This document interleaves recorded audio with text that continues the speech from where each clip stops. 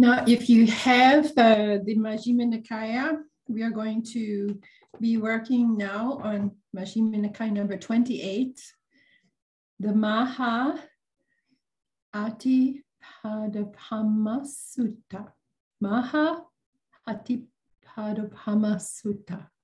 This is the greater discourse on the simile of the elephant's footprint. Excuse me. Mm-hmm.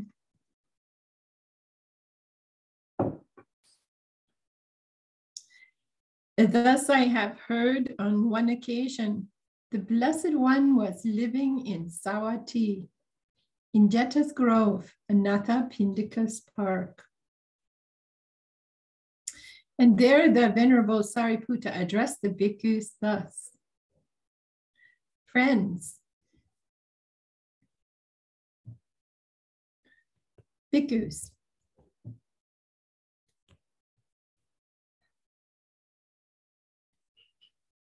they replied, and the Venerable Sariputta said this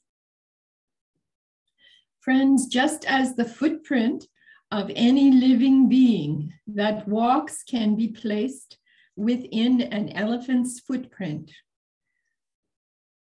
And so the elephant's footprint is declared the chief of them because of its great size.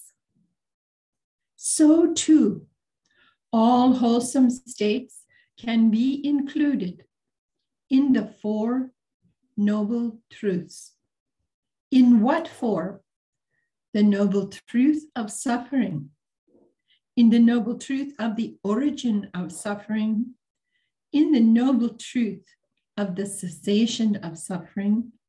And in the noble truth of the way leading to the cessation of suffering. And what is the noble truth of suffering? Birth is suffering, aging and death is suffering. Sorrow, lamentation, pain, grief, and despair are suffering. Not to obtain what one wants is suffering. And in short, the five aggregates affected by clinging are suffering. And what are the five aggregates affected by clinging?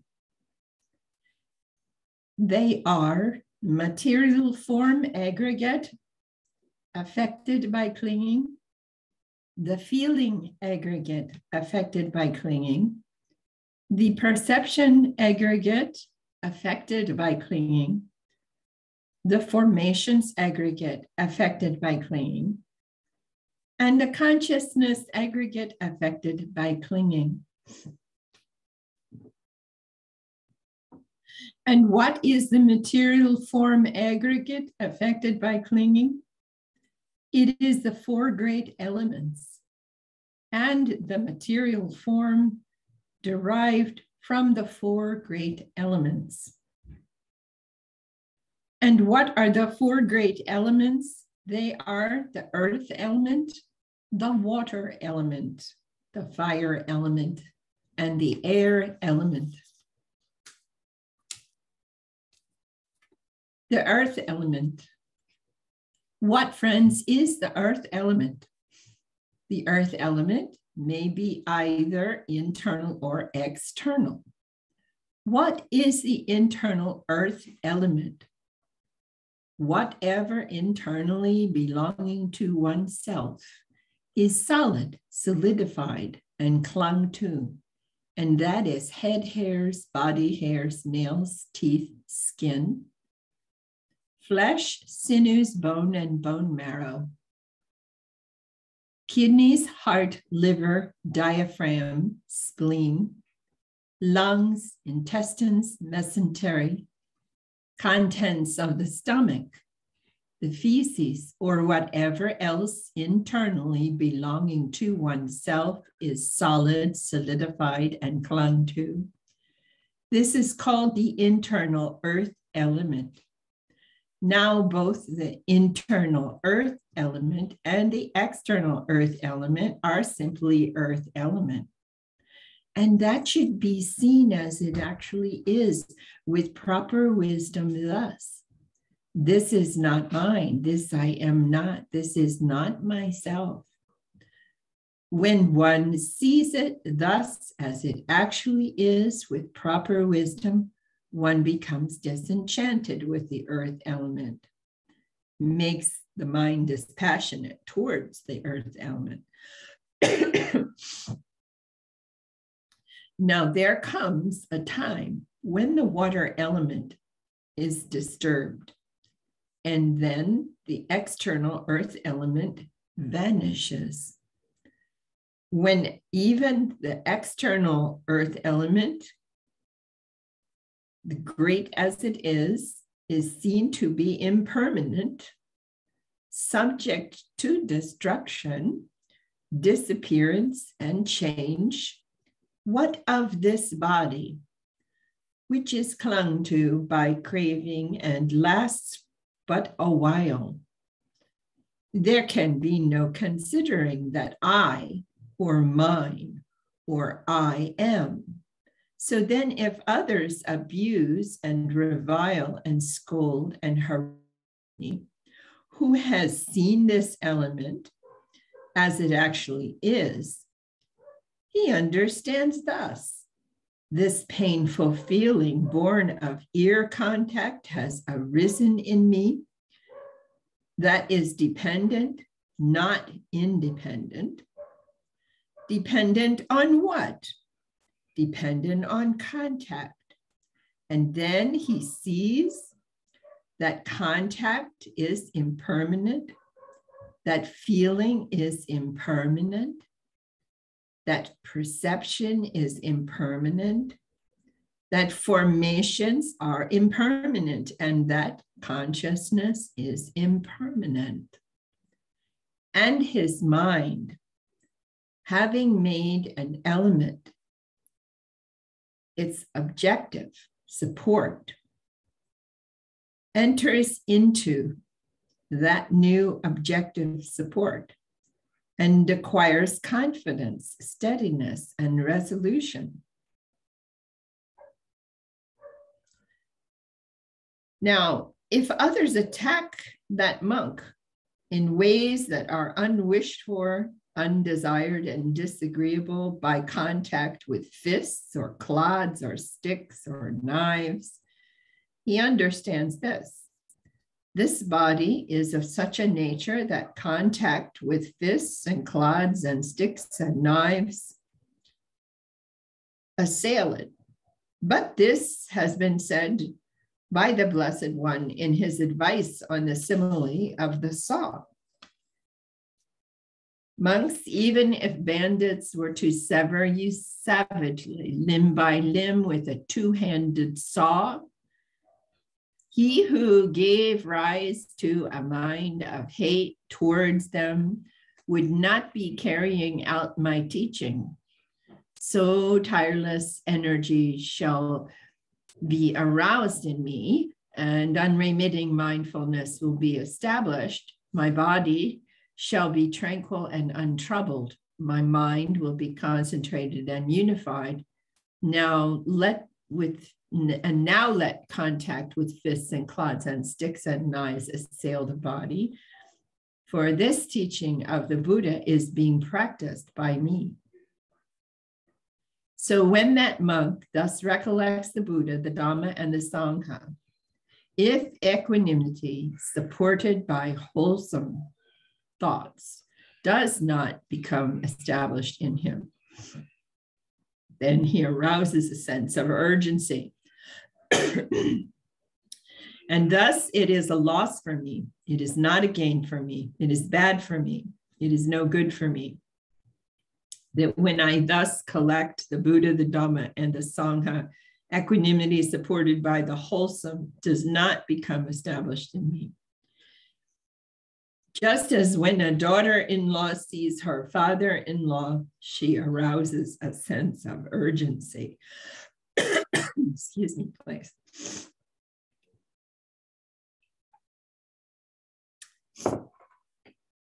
She arouses a sense of urgency to please him.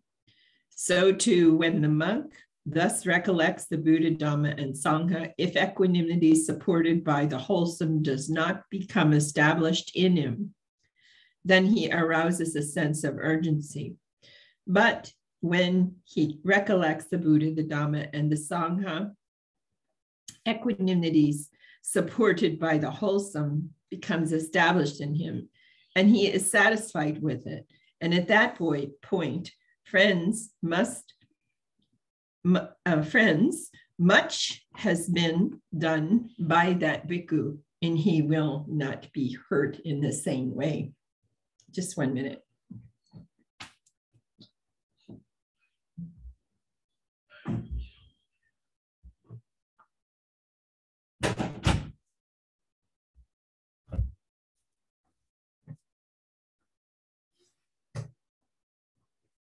Sorry.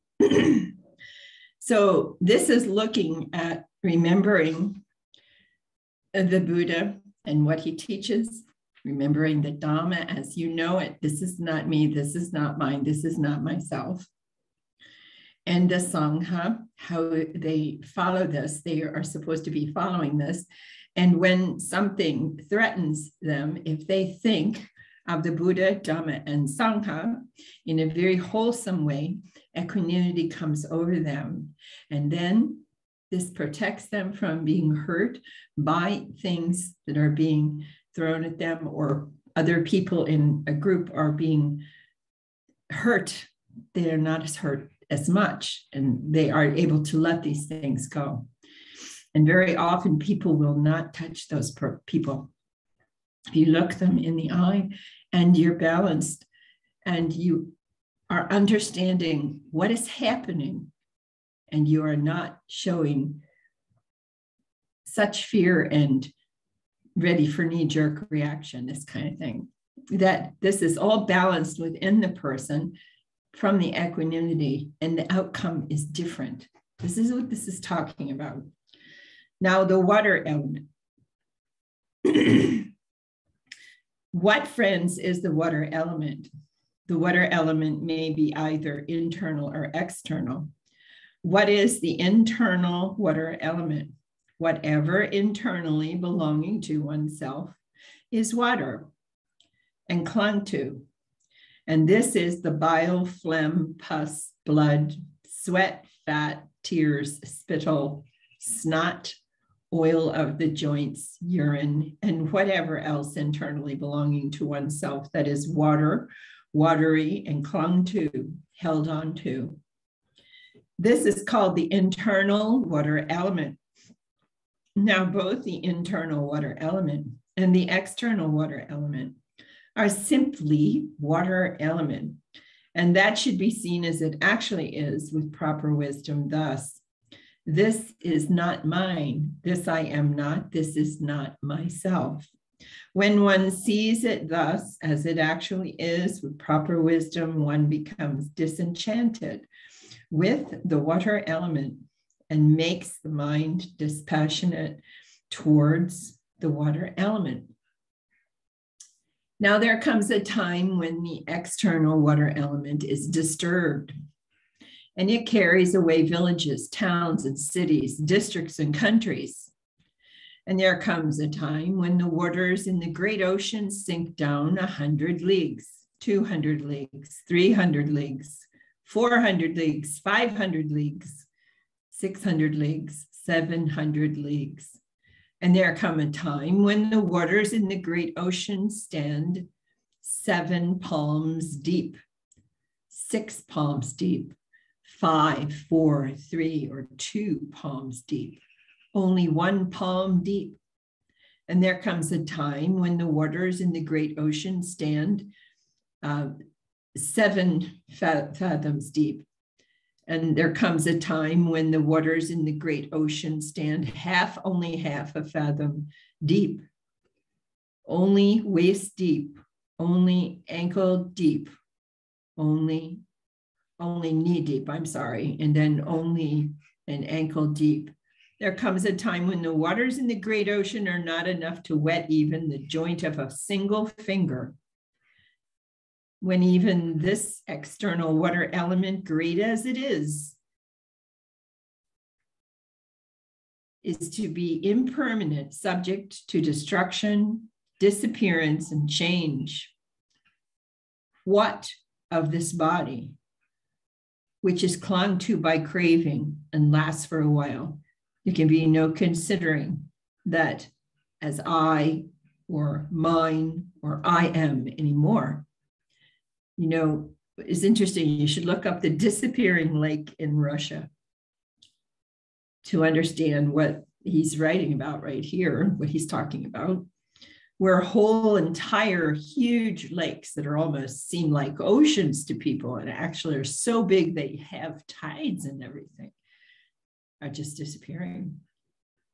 So when we think that can happen, can we think ourselves as permanent and we're not ever going to disappear? It's quite funny, huh?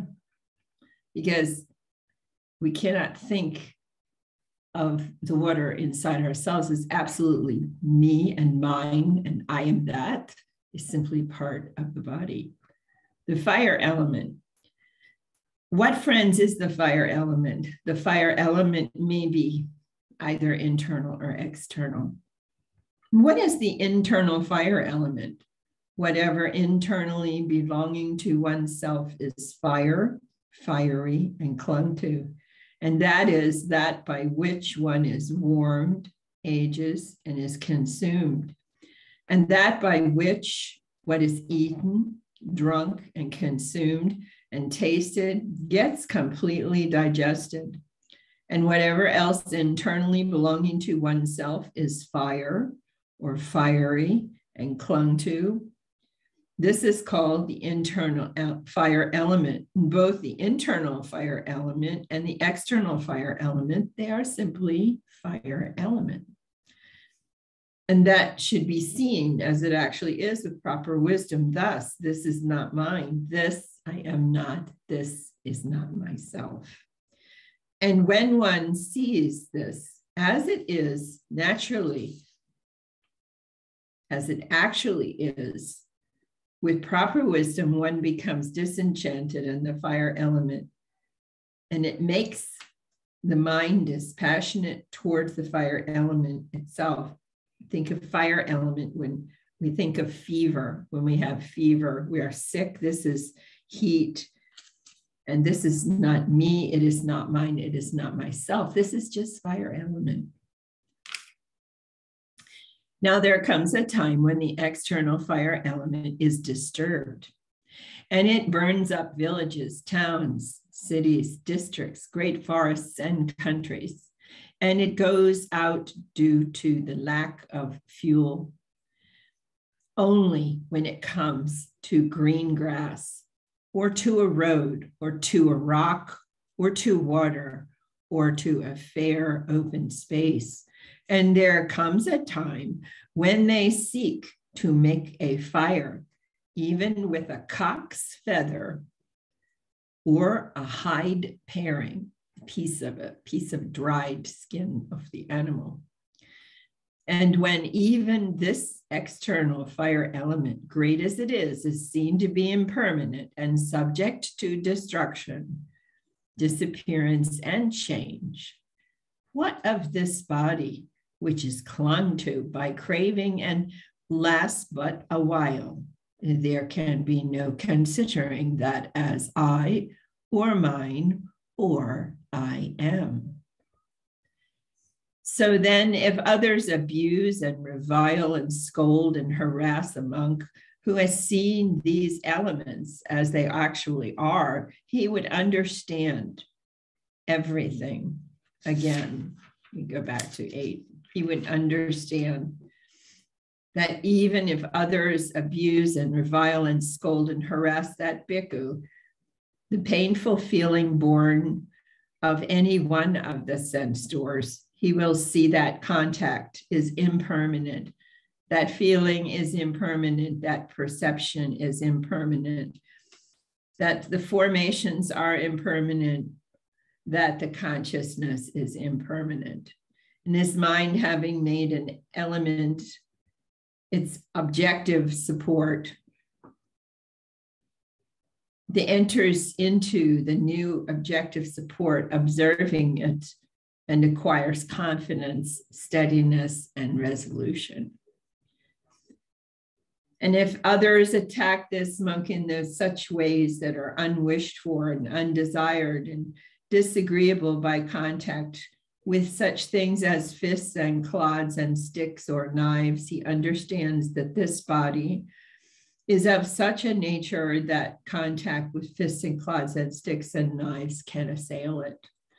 But this has not, has, has been said by the Blessed One in his advice on the simile of the saw, that bhikkhus, even if bandits were to sever you savagely limb by limb, with a two handed saw. He who give rise to a mind of hate towards them would not be carrying out my teaching. Now, you can turn back if you've been to retreats and you can see uh, Majjhima Nikaya number 21, section 20, and you'll see where this is repeated in the instructions of how shall we train. So tirelessly energy shall be aroused in me, and unremitting mindfulness established my body shall be tranquil and untroubled. My mind will be concentrated. It will remain unified. And now he now let contact with fists and clods and sticks and knives assail this body. For this teaching of the Buddha is being practiced by me, and I understand. I understand what is happening. This is where the person is coming from. Now we look at the air element in 21. What, friends, is this air element? The air element may be either internal or external. And what is the internal air element? Whatever internally belonging to oneself is air, airy, and clung to. And that is upgoing winds, downgoing winds, winds in the belly and winds in the bowels, winds that course through the limbs, in breath and out breath, or whatever else internally belonging to oneself is air or airy and clung to. This is called the internal air element. And both the internal air element and external air element are simply air element. And that should be seen as it actually is with proper wisdom thus this is not me this is this i am not this is not myself. When one sees it thus as it actually is with proper wisdom one becomes disenchanted with the air element and makes the mind dispassionate towards the air element. That's how that one goes. Now there comes a time when the external air element is disturbed if you're in Oklahoma, you get to experience this. It sweeps away the villages, towns, cities, districts, and countries. And there comes a time in the last month of the hot season when they seek wind by means of a fan or bellows, and even the strands of straw in the drip fringe of the hatches, the thatch in the roof, they do not stir, they do not move. And when even this external air element, great as it is, is seen to be impermanent, subject to destruction, disappearance, and change, what of this body, which is clung to by craving and lasts for a while? There can be no considering that as I or mine or I am that. So then, if others abuse and revile, uh, scold and harass the bhikkhu, the same thing is true. And at this point, friends, much has been done by that bhikkhu. He understands this as far as all parts, all of the elements, and all parts of the body. He understands it fully. I'm at 26. Friends, just as when a space is enclosed by timber and creepers, grass, and clay, it comes to be termed just a house. So, too, when a space is enclosed by bones and sinews, flesh and skin, it comes to be termed just material form. If, friends, internally the eye is intact, but no external forms come into its range, and there is no corresponding consciousness engagement, well, then there is no manifestation of the corresponding section of consciousness, meaning contact doesn't happen.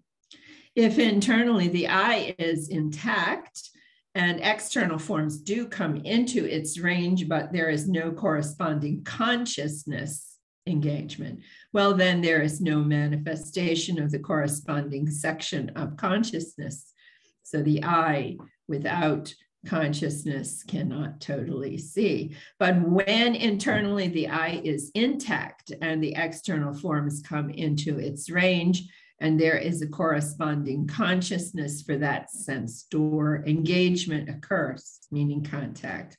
And then there is the manifestation of the corresponding section of consciousness and awareness through cognition. Now, the material form is what has thus come to be, and it, it is uh, included in the material form. The aggregate is affected by clinging.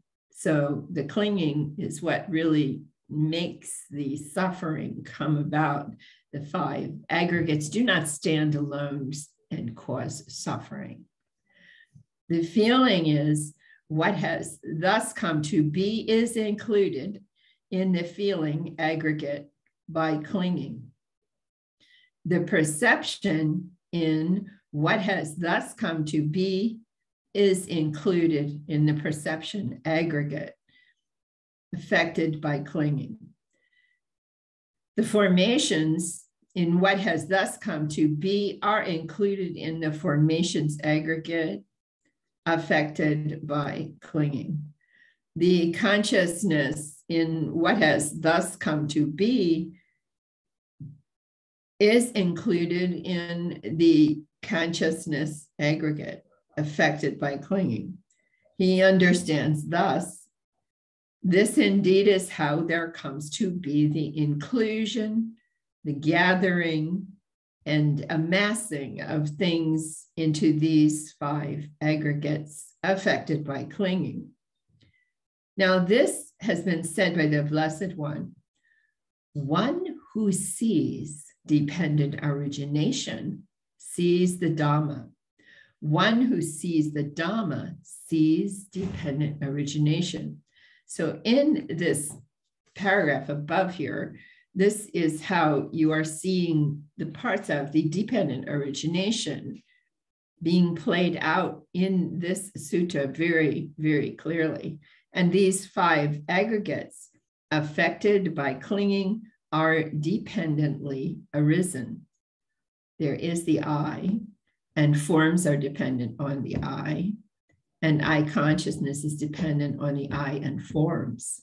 And the eye and forms and eye consciousness make contact, which were is dependent on them. And with the contact as condition, feeling can then arise the desire, indulgence, inclination, holding based on these five aggregates affected by clinging is the origin of suffering. And so here we have the statement without clinging, there's not the suffering. There must be this act of clinging.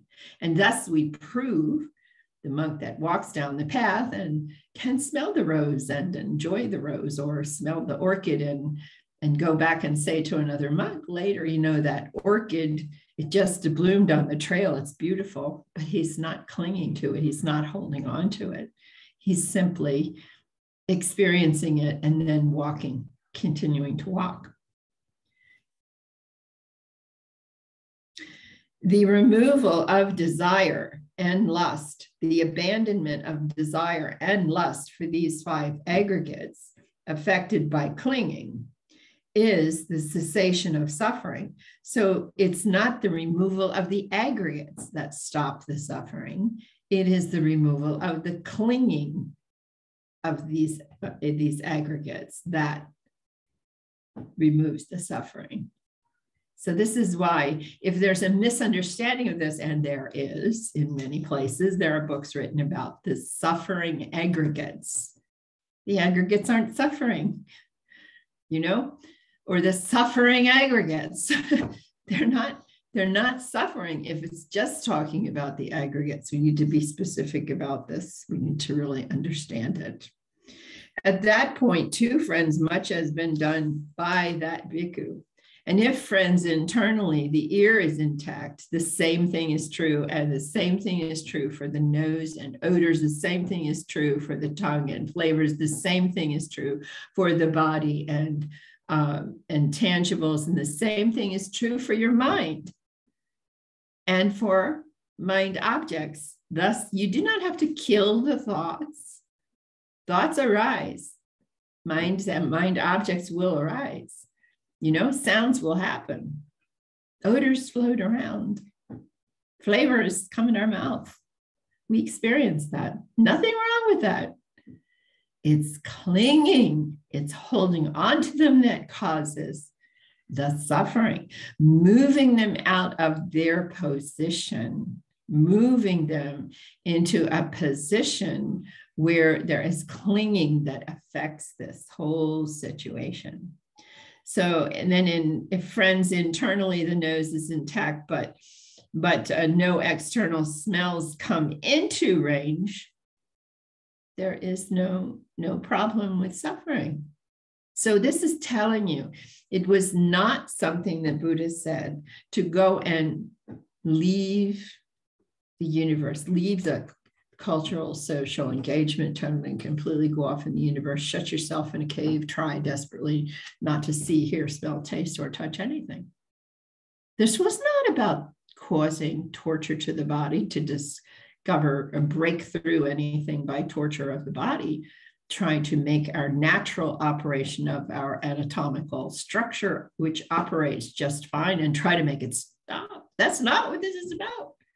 It's telling you right here so the aggregates affected by clinging are where your suffering is.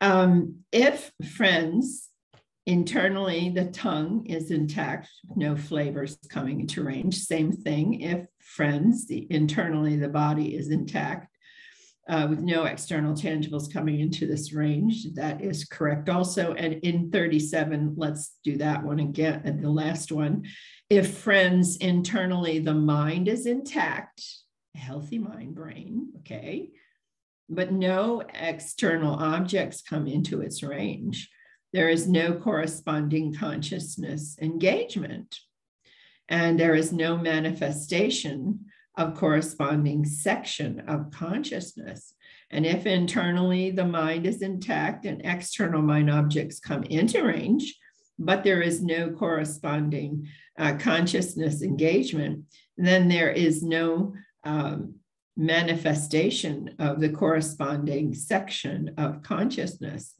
But when internally the mind is intact and external mind objects come into its range, there is the corresponding consciousness engagement, then there is the manifestation of the corresponding section of consciousness. The material um, form is what has thus come to be uh, in is included in the material form aggregate affected by clinging. The feeling is what has come to be is included in the feeling aggregate affected by clinging. The perception in what has come to be, thus comes to be, is included in the perception aggregate affected by clinging. The formations is what has thus come to be are included in the formations aggregate affected by clinging. The consciousness in what has thus come to be is included in the consciousness aggregate affected by clinging. He understands this indeed is how there comes to be the inclusion the gathering, the amassing of things in these five aggregates affected by clinging. Now, this has been said by the Blessed One. One who sees dependent origination sees the Dhamma. One who sees the Dhamma sees dependent origination. And these five aggregates affected by clinging are dependently arisen. The desire, indulgence, inclination, and holding based on these five aggregates affected by clinging is the origin of suffering. There it is again.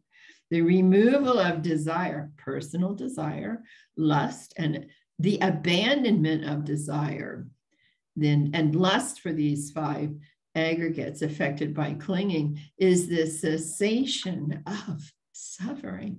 At that point, friends, much has been done by that bhikkhu, by that student, by that person who is trying to learn these pieces.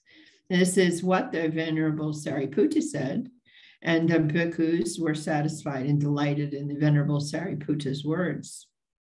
Now, in this sutta, there were six examples of saying one who sees dependent origination sees the Dhamma. One who sees the Dhamma sees dependent origination. And this is important for us to understand because let's look at it for a minute.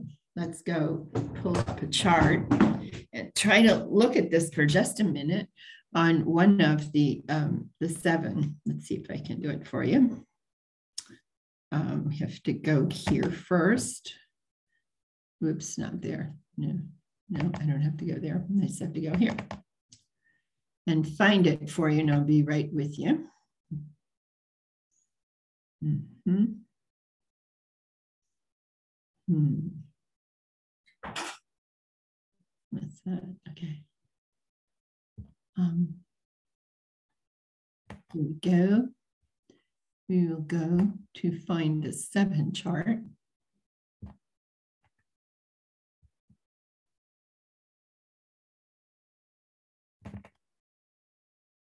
Okay, this is a good enough one for us to look at. Now let's go back to you.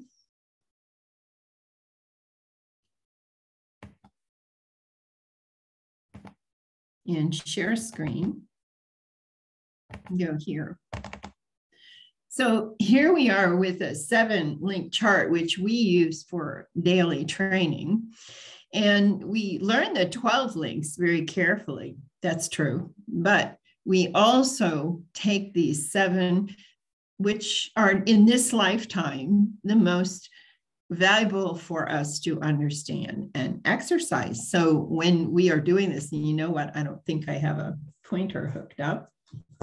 Not sure about how to do this. Let's see if I can do it. You know what?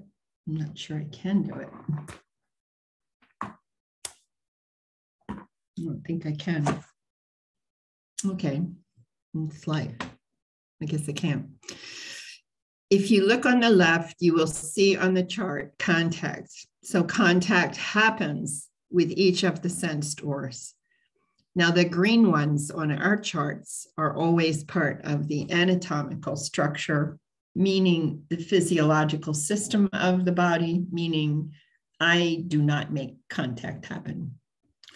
In other words, I do not control what my eye sees, my ear hears, my nose smells, my tongue tastes, or my body feels a tangible touching sensation, or my mind uh, has a mind object arise. I don't always make these, I don't make these come up. They operate with cooperation with the sense doors.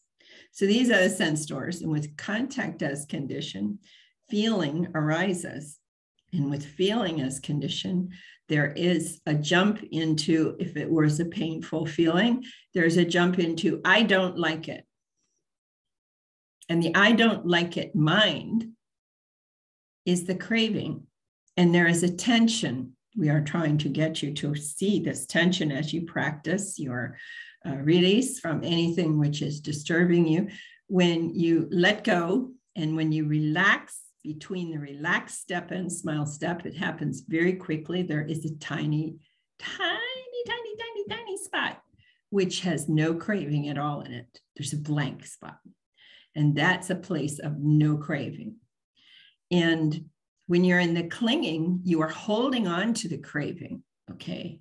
And you are making the craving more forceful. So I don't like it, jumps into clinging and it says, clinging is the story that runs in your mind about why you like or dislike what came up. You know?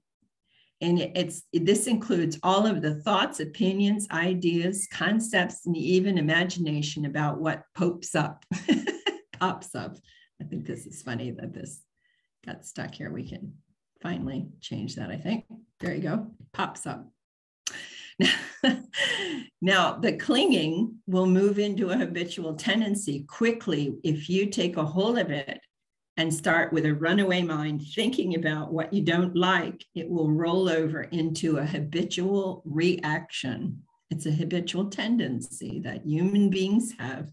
And this is where Bhava is the home. That's where the habitual emotional reactions live in each person. And those reactions are stored up there from the past. And this is about living life. This is why you have these sudden assumptions and reactions very, very quickly. This is the habitual tendency library.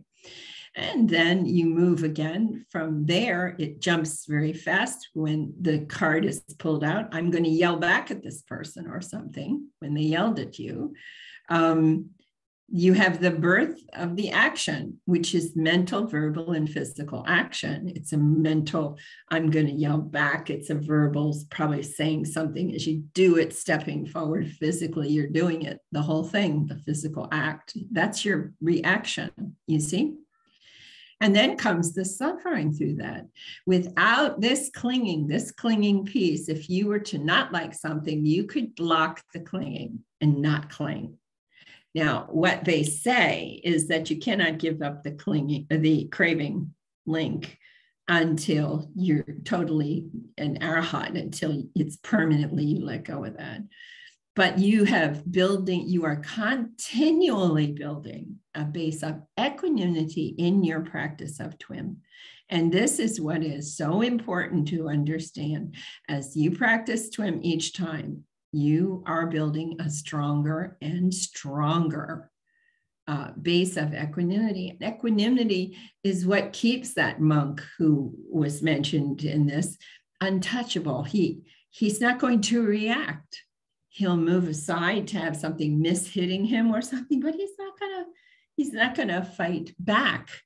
You see, he'll move out of the way or move literally out of the way, out of the space where he's in, where people are doing this. He can do that, but he's not going to come back on on the people uh, to to fight back at the level they're fighting at him. That's not going to happen because of the equanimity that's built up inside you.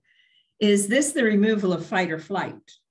No, it's not. Person still has reactions to block, to stop, to move aside, to move aside again, this sort of thing. Sure. Um, when I was practicing uh, karate in my 20s, okay, we're talking 50 years ago here. Okay, that gets interesting. Okay, but we're talking, we were studying Wado Kai karate. And Wado Kai means strike once to get the person down and run. Do not confront, do not attack. Do not uh, fight. It was not like that. It was sort of like strike once and run like crazy, especially for me as a female. They didn't want me to do that. But I was fighting full grown men at that time, you know, and many of them were big guys from the Air Force coming to the dojo.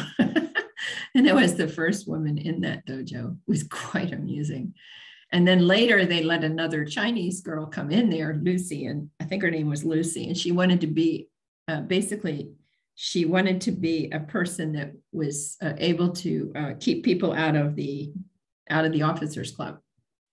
That's what she was doing. She wanted to be the person at the door who was going to keep the people from uh, bad guys from going in. And she was very effective. She was a very fast learner. But the years I spent there working on that, uh, I now can understand with this being all explained why it isn't necessary to be aggressive toward the other person. You know, the thing is, worldwide, we have to look at something. If we can ever improve the world at all, we have to get ourselves into a, pers- a position of basically not coming after the person the way they came after you. It isn't about that. That never stops. It's been there from the beginning of time. Yeah. So this is where you see you begin to see um, a little bit of a difference in this chart because you see if you look at it at the bottom you see emotion emotion emotion emotion at the bottom emotions start like in the middle of craving just after you say i don't like something then the emotion pops up emotions have names emotions are not feelings feelings are you know, uh, pleasant, painful, or neutral. And it gets really clear as you start to watch people. There is a pause, split second pause sometimes, but that pause is there before the initial uh, feeling and the dislike for it before there's any action. There's a there's a split second before you go into I don't like it, and then that emotion pops out. So emotions, when I say emotions, have names anger, fear, depression, frustration, panic attacks, anxiety, grief. All of these things are emotional states. You can come up with more, sure, you can. But the baseline feelings uh, in neurocognitive science are they're pretty agreeable with this that there is this thing that happens before that emotion hits that's different, and that's feeling. Okay.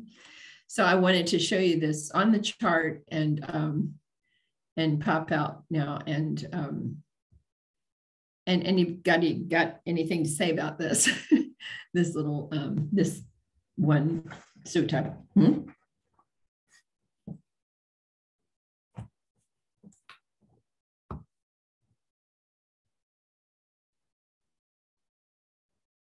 Questions?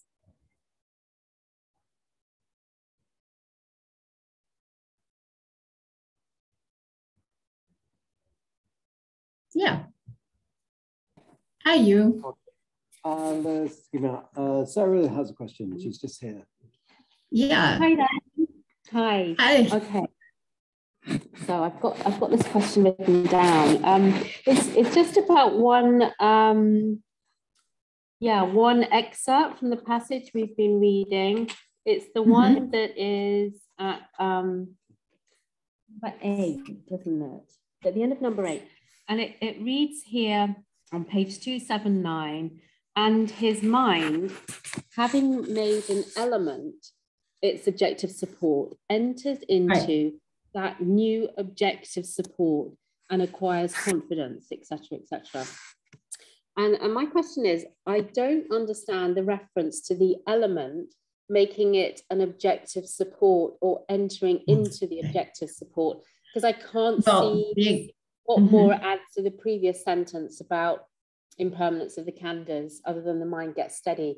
And I was looking at the footnotes as well, and it seems that the Pali can be interpreted differently about the elements as referring to the khandhas and also the four elements.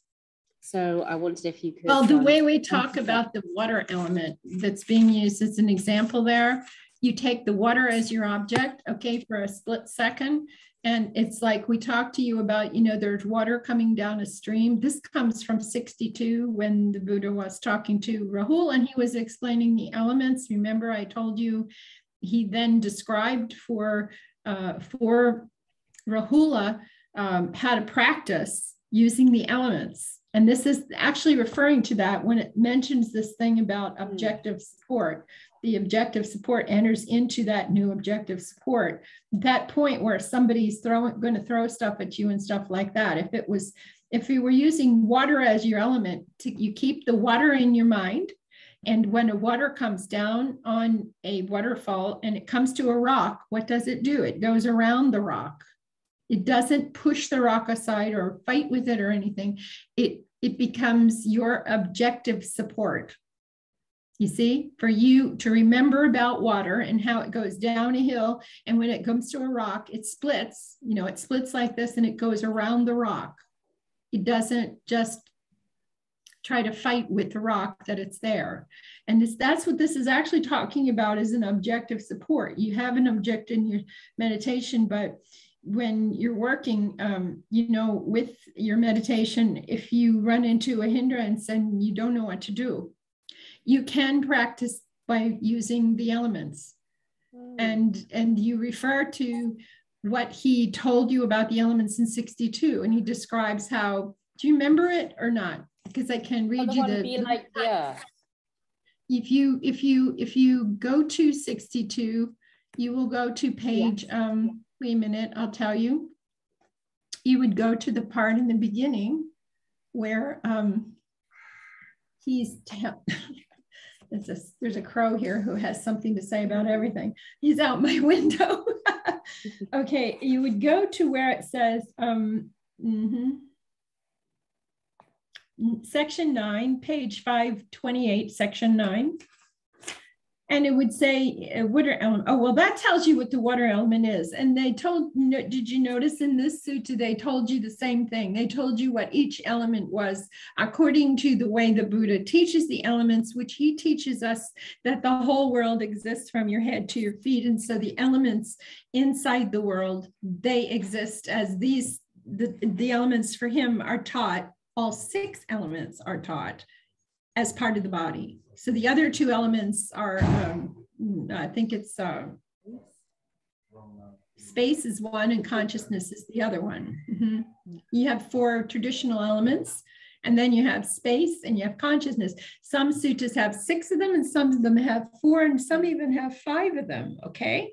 But this one, when it's, this is, this was section nine tells you what the element is. And then at the bottom at 13, section 13, he starts to tell him how to practice his meditation. Flip the page to 530 and you'll see that when it's water, he says, Rahula, develop meditation that is like water. For when you develop meditation that is like like water, agreeable, arisen, agreeable, and disagreeable contacts will not invade your mind and remain. It's just as water, uh, as, as people wash clean things and dirty things, excrement, urine, spittle, pus, and blood in the water. And the water is not repelled or humiliated or disgusted. It doesn't react because of that. So, too, you develop meditation that is like water.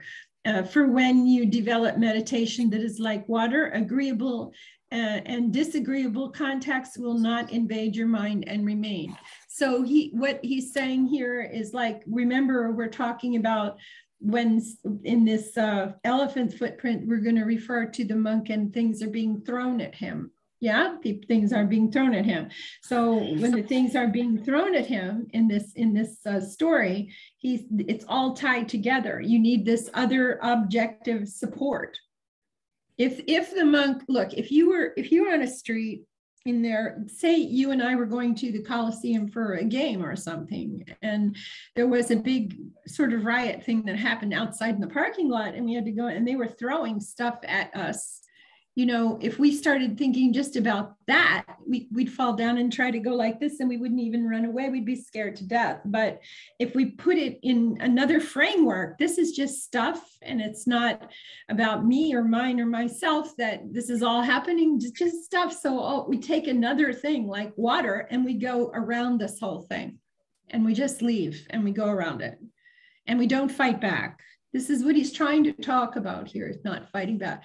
So if you go back and you look at the value of the different um, the different uh, elements that were explained in 62, and I know it's way you know it's a different place the book doesn't have an order like you know it's all hooked together it's in different place and i know it's kind of funny but it's because we know this from this this uh that you really working with the suttas a lot, you find there's all these different reference points for this stuff finding showing up in different suttas, just like 148. Mm-hmm. There's the thing I always tell you about the origination, the disappearance, the gratification, the danger, and the escape. I can find that in three or four different suttas. You see? it's sprinkled through. Well, this is the same sort of thing. And this is what he's talking about adopting is saying um, that he takes uh, having made an element uh, an element its objective support so he's decided to take water as an objective support. He enters into it into that. And when it says that it means into that new objective support for him when he's going through anything and acquires confidence steadiness and resolution. That's how that is. You get it so you have to play with situations. Integrity of the elements and and you, but I, I suppose I wasn't clear about how that would um, tie into when we have our objective meditation in TWIM and we when when what when when, when, when, we have our objective meditation in, in when we're practicing TWIM and then we would 6R and then come back. So this is like well, um, you know, Obasa, another, you know, another way. Yeah, you know about Obasa, the Chinese nun that works with the Dhamma Sukha sometimes. If you, I don't know if you've ever been exposed to her, but I, I she haven't. always takes water for her meditation. So when oh. she's working in her meditation, if any, if any hindrance arises, she treats it like water. She uses water for, for how to handle it. You know, I like water too. A lot of us like water because it just, it just shows you how it doesn't get upset at all and it just goes around what's, ever in its path and it never leaves its object of meditation. You just go around the fact that that hindrance came up and ignore it. The hindrance has Did nothing you like use for that you. As like another another layer then when you're 6Ring. You you come up with something's disturbed the mind and you you're you're you're some people well some people can't just 6R. some people can't just let go you know, and so they need something else to okay process it through to let it go. And that's what the water's doing, or the fire, or the air, or the earth. It doesn't matter which one you use. You remember how the earth would behave. You're remembering how the earth would behave, or the water would behave, or the fire would behave. Or yeah, I, I use that a lot in my in my movement practice. So I, am sorry, am I? I I would use that I think I intuitively use that a lot in my movement practice. I listen, I listen to the elements, and that brings a, a, a harmony through the body. And it's it's it, it's it feels very thing. simple and natural to me, but I, I haven't used it so clearly like that in the meditation because I stayed with the 6R process. But the thing I try to impress upon people is to just remember what's feeding your hindrance. But for some reason, people don't want to remember that one. you know, our attention is feeding the hindrance. And if it, it couldn't be my fault, for heaven's sakes, there must be some other reason. you know that i'm trying to was trying to come up with a simile about that the other day. It's like because i had somebody just no matter how much i explained it to them were absolutely adamant they weren't going to use that that way you know? And and um that they were just going to let and how many suttas have we taught on that? How how many times have we tried to explain that you are feeding the hindrance I tried to force them almost to, I didn't force them, but I wrote it out and printed it in big print and I sent it to. I said, put this in your pocket, read it every day. No obstacle can become an obstruction unless I engage in it. That's from 22. How much clearer can you get than that? It's like, but it's interesting. It's not their fault. It's not my fault. What it is, is it's indelibly imprinted on them from their life to the point where they are now that we must fight and defend ourselves from anything that disturbs us. Mm-hmm. Yeah that's what we're that's what and so what are we actually pressing against we're pressing against atta you know this is me, this is mine, this is myself, and nobody can tell me otherwise. Yeah, well, I'm not telling you to give up you. I'm saying look at you in another way as a bag of rice. as a bag of rice, not really um, sort of boosting your but ego, but you're a bag of rice. I'm a bag of hill rice, red rice, beans, white beans, brown beans, blue beans, and green beans. And that's what comes out of this sack, you know, this sack. That's all that's there. See, no, this week I'll tell you something. I may as well tell you because I was they were talking about what do what do monks do uh, when they're faced with difficult situations what do they do when they're famous? And so they were going back and talking about always do this. These the older monks, they always do this. They go back and tell the stories again and again of the Buddha and his monks and what they do. But the question was, what do you do as a monk or a monastic today if you're faced with something? So I gave him the story of Punna just to be nice, you know, because Punna was the one that went and had the clods and sticks and fists and knives and everything. He was assailed by those things, and, and they didn't want him to go teach there. And the Buddha came and asked him the question. He said, Yep, that's where I'm going. And he asked him the question again. And he said, Yeah, I'm going and I'm going to forgive him and then teach him, forgive him and then teach him, and forgive him and then teach him. You know, and I and just use loving kindness. And the Buddha finally said, Okay, you ready? Go ahead. he let him go. And I think the monks wanted him to stop him, you know, but I gave him that story. And then there were a couple, you know, there was some other things. And then I said, you know, look, I had a really interesting week. It wasn't particularly that it was a rough and terribly week, but it was pretty much confirmed. I have cancer. Yeah. And it's metastasized. And here I am. This is me.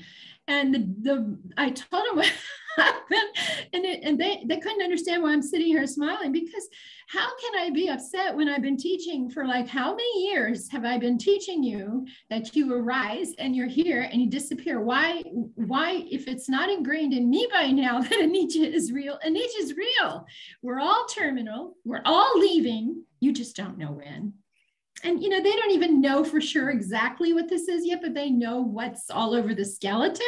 They know there's all these little lesions all over the the ribs and stuff. And now they got to figure out what's really going on. Okay fine.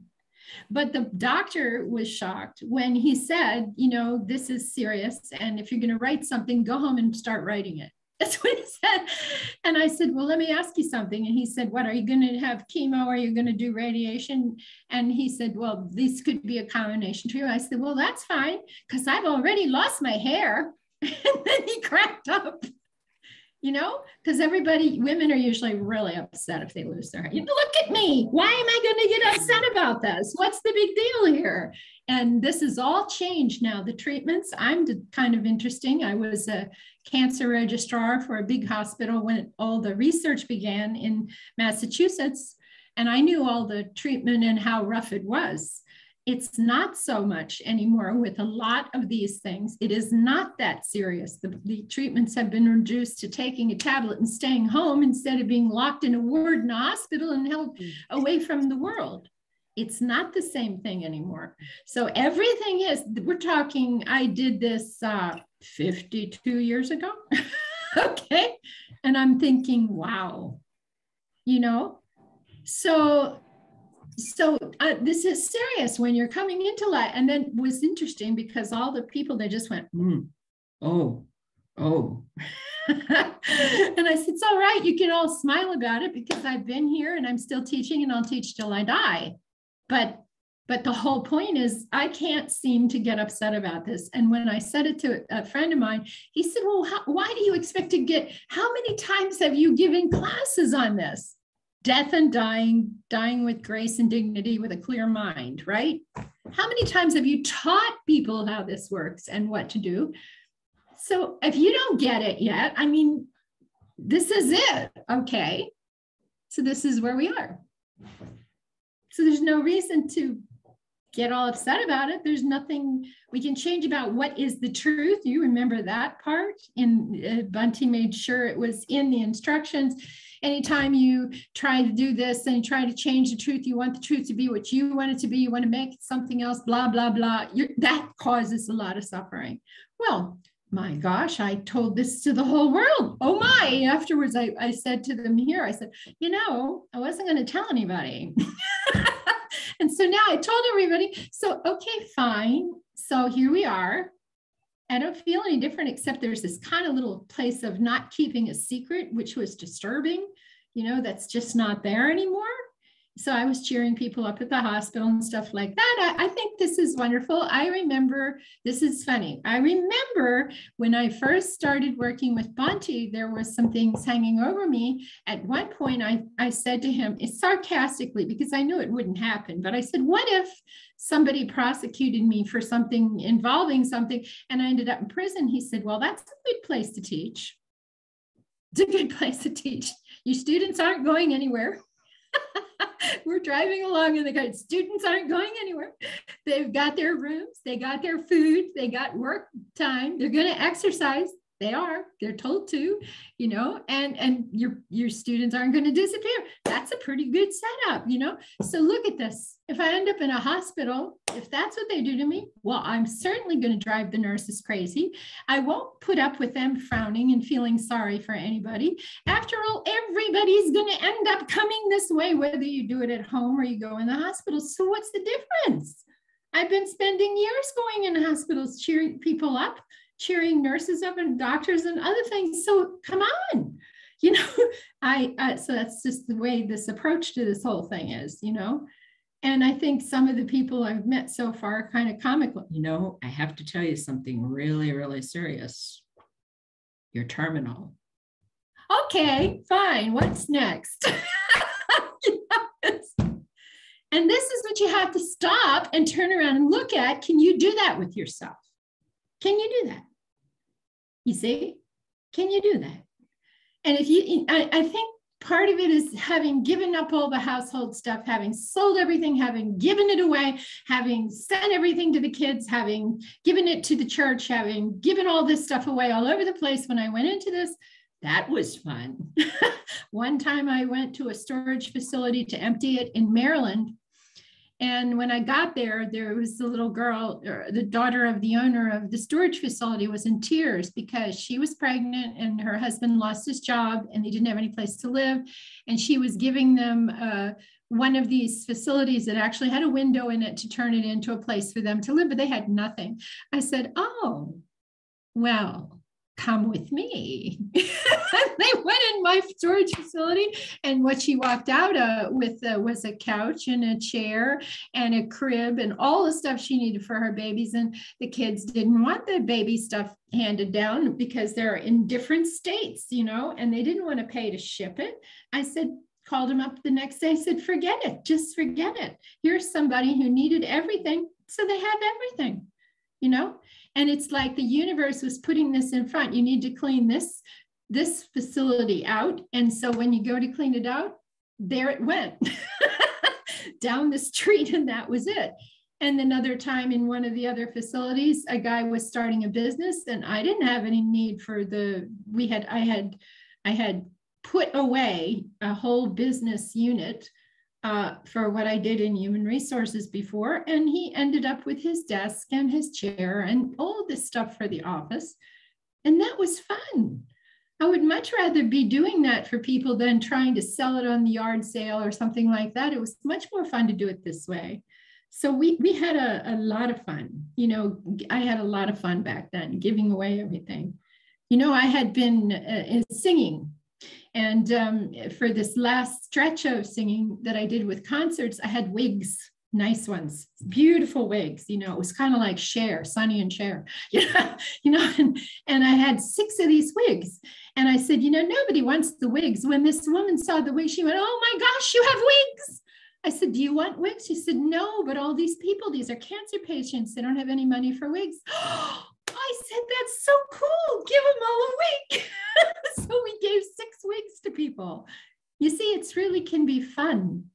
You know, you have to decide to make everything fun. It's, and I guess I'm like a little child, but I just don't see any reason to get upset about this because, you know, what are you going to do?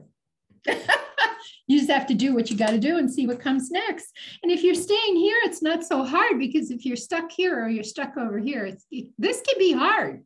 This can be hard.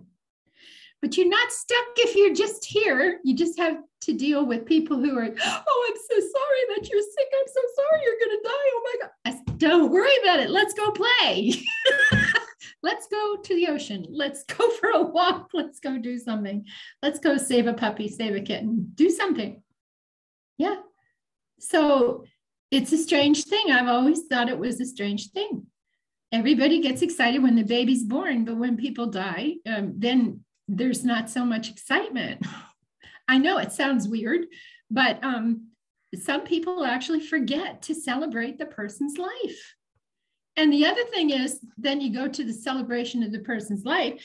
You should encourage people don't celebrate the person's life after they're gone for heaven's sakes, if they're conscious and they're in the hospital, instead of going in there and saying, Oh, I'm so sorry, you're feeling so bad. I'm so sorry. It hurts. I'm so sorry. I'm, I'm just feeling terrible because you're, you're hurting. Well, you're hurting too. But why don't you come in with a, a, a scrapbook with all the pictures the family has and sit there with them while they're awake and conscious and start talking to them about the things you remember and the things you did, and then have the scrapbook. And when we did that with people, it really, really helped. It really, really helped. Because you know what? Those people were busy then. The, the worst, the worst thing for you when I'm gonna die is you didn't know what to do. you don't know what to do. Okay, so go build me a, a pagoda or something. or you know build a pagoda for the dogs and cats in the neighborhood. That would be good. With a whole bunch of entrances to get out of the rain. You know I, i'm not i'm just clowning now okay? But the point is why do we have to get so upset about it? And then i thought about it. The reason is it isn't because of the person that's dying. The reason they're upset people think it's because they're dying. Actually they're super duper concerned about what's going to be like for you when they die that is the thing. See? So it's important that we we um, try to handle that part of it. I think that's very important. And, uh, you know, that's kind of hard for me because uh, the kids are all back in the United States and I haven't said a word. So I, I, they never watch me. So I'm not worried about that. you know, but I'm going to have to say something now, you know, because of what I did this past week. So that's it, you know. And we just go on and we do the best we can. And this is working out over here. In Poland, it's working out very well because it is cold, it's cool to sleep. And because when I got off the plane, it was 30 degrees Celsius cooler than India. And within about two weeks, it's been about two weeks, my blood pressure went completely down. And that is completely corrected I don't need any medication because it's cool and because it's level when I'm walking and I can take walks every day. And I couldn't before. And it, there's no dirt here, no dirt. There is no dirty air. There is no dirty water. There is no dirty food. And there's nothing that is boiled so long that there's no vitamins in it at all. So the diet's completely corrected. You're walking, you're drinking water, you can live on water and you're not that hungry because you're eating food that is actually got vitamins and things in it to strong. So you're not eating poor food at all. So this is a big change. You know, it's a huge change. I want to go back. I will go back and teach, but I'm going to have an extra suitcase with food in it. you know, that's probably true. Although, you know, where I know where I'm going, so it's pretty okay. But um, the shock is that I haven't had rice in three in two weeks now. I haven't had rice, but I had potatoes. Yeah.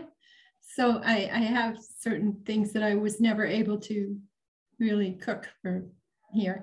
And they're very good to me. And it's like uh, it's like the grandmother and the three sons. Yes. And they're all very clean cut you know and they're very good people taking care of me. And my quarters are private from their quarters and it's all fine you know, it's very nice setup. So we're all very happy and it's working really well. And the doctors are nice here. We just have to get the full picture and it takes a long time. So we're still stuck in diagnostics and not in treatment. So we will get to that point, but we're trying very hard to get to the get through uh, the treatment. So that's what's going on. so you know, when you think you have a bad day, just call me. I mean, you know, this is what you do. You just call me, I'll straighten you out, you know, because so, remember so, what goes up, it comes down, you know, that's it. Mm-hmm. So, so Sakima, are you, are you starting the retreat tomorrow? What? No. The retreat for June has been canceled because we didn't consider we we considered the guys we were asking and they all said yes and they went to their clients and they all said no. so oh. their the, the schedules for the life coaching for the for the uh, the clients was not adjustable to this time but it worked out well because we have to go through a full line of diagnostics. And so this is perfect. So we have june and july to straighten this out. In august we rescheduled the retreat for august. Now this is way in advance and everybody's agreed to come back in august. So i was going to get in touch with you and tell you that if you wanted to do that, you probably could in August for yep. a short yep. period of time for that. Yeah, if, you, yeah. if you'd like to send me the dates um, uh, when you've got them, um, and and any other details, uh, you know, location and stuff. Um, yep, Let, us see if I will let you know. Okay, but that's why I did. I was telling you I would probably get with you uh, um, later. okay, so I am, you know, and that's about it. So let's say our prayer. Okay, everyone. May suffering ones be suffering free and the fear struck fearless be. May the grieving shed all grief and may all beings find relief. May all beings share this merit that we have thus acquired for the acquisition of all kinds of happiness. May beings inhabiting space and earth, devas and nagas of mighty power, share this merit of ours. May they long protect the Buddhist dispensation. Sadhu, sadhu, sadhu.